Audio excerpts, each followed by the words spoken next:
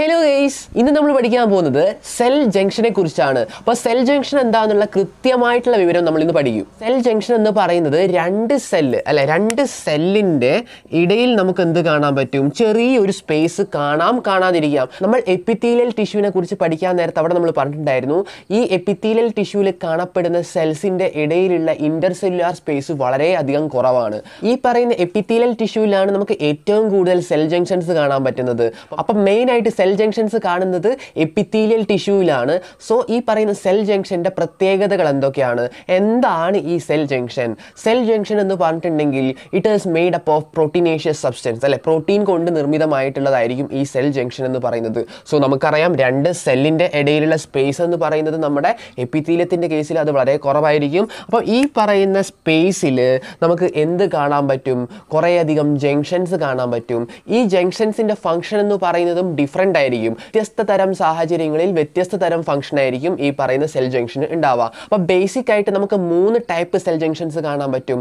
ഏതൊക്കെയാണ്? Tight junction adhering junction and gap junction ഏതൊക്കെയാണ്? Tight junction adhering junction and gap junction അതിൽ tight junction എന്ന് പറയുന്നത് എന്താണെന്ന് നമുക്ക് ഫസ്റ്റ് നോക്കാം. നമ്മുടെ ടെക്സ്റ്റിൽ എന്താണ് കൊടുത്തേക്കുന്നത്? ടൈറ്റ് ജംഗ്ഷൻ എന്ന് പറഞ്ഞിട്ടുണ്ടെങ്കിൽ ആ ഒരു ടിഷ്യൂയിലൂടെ സബ്സ്റ്റൻസുകളെ പാസ് ചെയ്യാൻ വിടാതിരിക്കുന്ന ജംഗ്ഷനെയാണ് നമ്മൾ എന്ത് വിളിക്കുന്നത്? ടൈറ്റ് ജംഗ്ഷൻസ് എന്ന് വിളിക്കുന്നത്. സപ്പോസ് ഇതൊക്കെ എന്താണ്? ടിഷ്യൂവിൽ കാണപ്പെടുന്ന സെൽസ് ആണ് നമുക്ക് കൺസിഡർ ചെയ്യാം. അപ്പോൾ ഈ സെൽസിന്റെ ഇടയിൽ നമുക്ക് എന്ത് കാണാൻ പറ്റും? ഈ പറയുന്ന ടൈറ്റ് ജംഗ്ഷൻസിനെ കാണാൻ പറ്റും. അപ്പോൾ എല്ലാ സ്ഥലത്തുള്ളയും ടിഷ്യൂസിൽ ഈ പറയുന്ന പോലെ ടൈറ്റ് ജംഗ്ഷൻസ് ഉണ്ടോ എന്ന് ചോദിച്ചു കഴിഞ്ഞിട്ടുണ്ടെങ്കിൽ ഉണ്ടാവില്ല. അപ്പോൾ ഇത് എങ്ങനെയുള്ള ടിഷ്യൂസിലാണ് നമുക്ക് കാണാൻ പറ്റുക? നമുക്കറിയാം നമ്മുടെ യൂറിനറി ബ്ലാഡർ അപ്പോൾ അങ്ങനെയുള്ള സ്ഥലങ്ങളിലെ ടിഷ്യൂകളിലാണ് നമുക്ക് കൂടുതലായിട്ടും ഈ പറയുന്ന ടൈറ്റ് ജംഗ്ഷൻസ് കാണാൻ പറ്റുക. അപ്പോൾ ഈ സെൽസ് ഒക്കെ കൂടി ചേർന്നിട്ടാണ് നമ്മൾ ടിഷ്യൂ എന്ന് വിളിക്കുന്നത്. അപ്പോൾ ഈ രണ്ട് സെല്ലിന്റെയും ഇടയിൽ നമുക്ക് എന്ത് കാണാം? അവിടെ നമുക്ക് ടൈറ്റ് ജംഗ്ഷൻസ് കാണാൻ പറ്റും. നമുക്കറിയാം ഈ ജംഗ്ഷൻസ് എന്ന് പറഞ്ഞിട്ടുണ്ടെങ്കിൽ it is made up of proteinaceous substance proteinaceous സബ്സ്റ്റൻസുകളാണ് ഈ പറയുന്ന ജംഗ്ഷൻ എന്ന് നമ്മൾ വിളിക്കുന്നത്.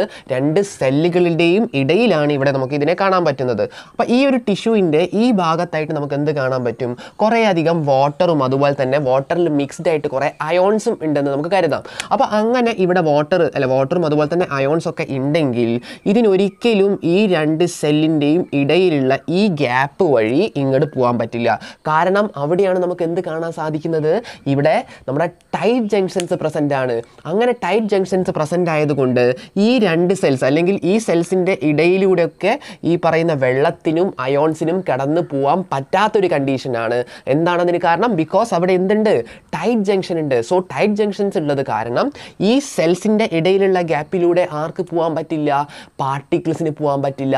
വാട്ടർ പോലെയുള്ള സബ്സ്റ്റൻസിന് പോകാൻ പറ്റില്ല. അപ്പോൾ അതാണ് നമ്മുടെ ടൈറ്റ് ജംഗ്ഷന്റെ ഫംഗ്ഷൻ മനസ്സിലായല്ലോ? അപ്പോൾ നമ്മുടെ യൂറിനറി ബ്ലാഡറിലൊക്കെ കാണപ്പെടുന്ന സെൽ ജംഗ്ഷൻ എന്ന് പറഞ്ഞിട്ടുണ്ടെങ്കിൽ ടൈറ്റ് ജംഗ്ഷൻ ആയിരിക്കും. കാരണം നമ്മുടെ യൂറിനറി ബ്ലാഡറിൽ സ്റ്റോർ ചെയ്യപ്പെടുന്ന യൂറിൻ ഒരു കാരണവശാലും പുറത്തോട്ട് പോകാൻ പാടില്ല. അത് ആ ഒരു ഓർഗന്റെ ഉള്ളിൽ തന്നെ റിസൈഡ് ചെയ്യണം. അതുകൊണ്ട് തന്നെ അവിടെ നമുക്ക് കാണാൻ പറ്റുന്ന ജംഗ്ഷൻ എന്ന് പറഞ്ഞിട്ടുണ്ടെങ്കിൽ ടൈറ്റ് ജംഗ്ഷൻ ആയിരിക്കും.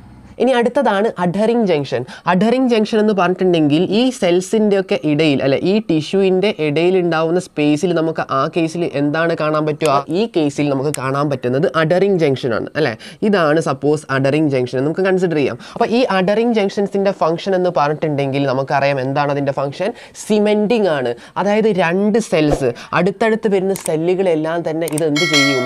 ഒട്ടിച്ച് നിർത്തും. അല്ലെങ്കിൽ അത് മൂവ് ചെയ്യാതെ നോക്കുന്ന അല്ലെങ്കിൽ അത് ഡിസ്പ്ലേസ്ഡ് ആവാതെ നോക്കുന്ന ജംഗ്ഷനെയാണ് നമ്മൾ എന്ത് വിളിക്കുന്നത്? നമ്മൾ അഡറിങ് ജംഗ്ഷൻ അഡറിങ് എന്നുള്ള വേർഡിന്റെ മീനിങ് ഒട്ടിപ്പിടിക്കുക എന്നുള്ളതാണ്. സോ ഇവിടെ ഒട്ടിപ്പിടിക്കുന്ന രീതിയിലാണ് സെല്ലുകൾ അടുപ്പിച്ച് വെച്ചേക്കുന്നത്.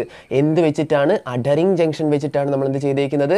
ഈ സെൽസിനെ മൂവ് ചെയ്യാതെ ഇതേ സ്ഥലത്ത് തന്നെ പിടിച്ചു നിർത്തുന്നത് അഡറിങ് ജംഗ്ഷൻസ് ആണ്. അപ്പോൾ ഈ അഡറിങ് ജംഗ്ഷൻ നമ്മൾ മുന്നേ പഠിച്ച ടൈറ്റ് ജംഗ്ഷൻ തമ്മിൽ എന്താണ് ഡിഫറൻസ് ഇവിടെ സബ്സ്റ്റൻസിന് ഇതിന്റെ ഇടയിലൂടെ പാസ് ചെയ്യുന്നതിന് യാതൊരു ബുദ്ധിമുട്ടും ഇല്ല. നേരത്തെ നമ്മുടെ ടൈറ്റ് ജംഗ്ഷൻസ് അങ്ങനെയായിരുന്നില്ല. അവിടെ സബ്സ്റ്റൻസിന് മൂവ് ചെയ്യാൻ പറ്റില്ല ഒരു ഭാഗത്ത് നിന്ന് മറുഭാഗത്തോട്ട് സബ്സ്റ്റൻസിന്റെ ലീക്കേജ് പ്രിവെന്റ് ചെയ്യുന്നതായിരുന്നു ടൈറ്റ് ജംഗ്ഷൻ എങ്കിൽ. നമ്മുടെ അഡറിങ് ജംഗ്ഷൻ എന്ന് പറയുന്നത് ആ ഒരു ഫംഗ്ഷന് വേണ്ടിയിട്ടുള്ള ആളല്ല. അവിടെ പാർട്ടിക്കിൾസിന്റെ മൂവ്മെന്റിനൊന്നും യാതൊരു പ്രശ്നവുമില്ല. അവർക്ക് സുഖമായിട്ട് ഇതിന്റെ ഇടയിലൂടെ പോകാൻ പറ്റും. പക്ഷേ ഇത് എന്തിനു വേണ്ടിയിട്ട് വെച്ചേക്കുവാണ്? ഈ ഒരു സെൽസിനെ ഇവിടെ തന്നെ പിടിച്ചു നിർത്താൻ വേണ്ടി. അല്ലെങ്കിൽ ഈ ഒരു ടിഷ്യൂവിനെ ഇവിടെ തന്നെ സിമെന്റ് ചെയ്ത് നിർത്താൻ വേണ്ടിയിട്ടാണ് ടൈറ്റ് ജംഗ്ഷൻസിന്റെ ഫംഗ്ഷൻ അപ്പോൾ ഇത് കൂടുതലായിട്ടും കാണുന്നത് കുറച്ച് ലൂസ് ആയിട്ടുള്ള ടിഷ്യൂവിലായിരിക്കും കാരണം അതാണ് കൂടുതലായിട്ടും സ്ലിപ്പ് ചെയ്ത് വഴുതി പോകാനുള്ള ചാൻസ് ഒക്കെ ഉണ്ടാവുന്നത്. ഇനി അടുത്തതാണ് ഗ്യാപ് ജംഗ്ഷൻ ഗ്യാപ് ജംഗ്ഷന്റെ ഏറ്റവും വലിയ പ്രത്യേകത എന്ന് പറയുന്നത് കമ്മ്യൂണിക്കേഷന് വേണ്ടിയിട്ടുള്ള ജംഗ്ഷനാണ് ഈ പറയുന്ന ജംഗ്ഷൻ അതായത് രണ്ട് സെല്ലുകളെ അല്ലെങ്കിൽ അടുത്തടുത്ത് വരുന്ന സെല്ലുകളെ പരസ്പരം ബന്ധിപ്പിക്കുന്ന തരത്തിലുള്ള ജംഗ്ഷനെയാണ് നമ്മൾ എന്ത് വിളിക്കുന്നത്? നമ്മൾ ഗ്യാപ് ജംഗ്ഷൻ എന്ന് വിളിക്കുന്നത്. അപ്പോൾ അത് വളരെ സിമ്പിളായിട്ട് തന്നെ നമുക്ക് പറയാൻ പറ്റും. അതായത് ഇത് ഇപ്പോൾ സപ്പോസ് രണ്ട് സെല്ലുകളാണെങ്കിൽ അല്ലെ? ഒരു ടിഷ്യൂവിലുള്ള രണ്ട് സെല്ലുകൾ മാത്രമേ നമ്മൾ കൺസിഡർ ചെയ്യുന്നുള്ളൂ. അപ്പോൾ അത് പരസ്പരം എന്തുണ്ടാവും? ഒരു കമ്മ്യൂണിക്കേഷന് വേണ്ടിയിട്ട് ഒരു ജംഗ്ഷൻ ഉണ്ടാവും ഒരു ഗ്യാപ്പ് ഉണ്ടാവും. അപ്പോൾ ആ ഒരു ഇതിനെയാണ് നമ്മൾ എന്ത് പറയുന്നത്? ആ ഒരു ടൈപ്പ് ഓഫ് ജംഗ്ഷനെയാണ് നമ്മൾ ഗ്യാപ്പ് ജംഗ്ഷൻ എന്ന് വിളിക്കുന്നത്. അപ്പം ഇവിടെ നമുക്ക് നോക്കിക്കഴിഞ്ഞാൽ തന്നെ കാണാൻ പറ്റും എന്ത്?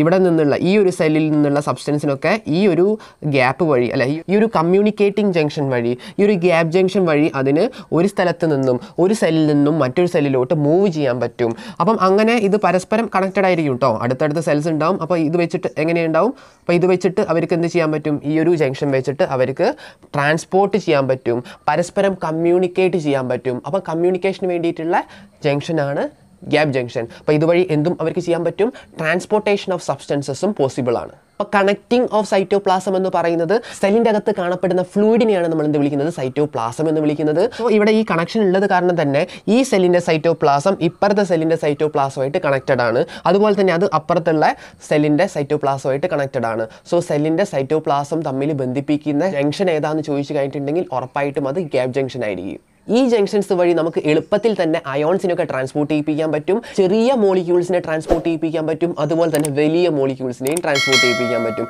ഈ ഒരു സ്ട്രക്ചർ മനസ്സിലായാൽ തന്നെ ഈ പറയുന്ന കാര്യങ്ങൾ നിങ്ങൾക്ക് എളുപ്പം മനസ്സിലാക്കി എടുക്കാൻ പറ്റുന്നതേ ഉള്ളൂ. അപ്പോൾ ഗൈസ് ഇന്നത്തെ ക്ലാസ് എല്ലാവർക്കും ഇഷ്ടപ്പെട്ടെന്ന് ഞാൻ വിശ്വസിക്കുന്നു. എന്തെങ്കിലും ഡൗട്ട് ഉണ്ടെങ്കിൽ നിങ്ങൾ തീർച്ചയായിട്ടും കമന്റ് ചെയ്യുക. അടുത്ത ക്ലാസ്സിൽ നമുക്ക് വീണ്ടും കാണാം. ബൈ